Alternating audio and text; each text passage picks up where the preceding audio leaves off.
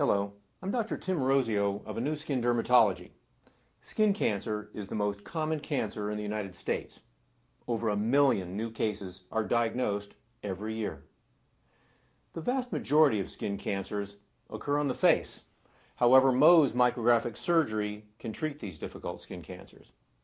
I'm a trained surgeon in this procedure, which is the most precise treatment for skin cancer. Therefore, I can obtain the highest cure rate and the least scar. This makes Mohs the most cosmetic method for curing skin cancer on the face.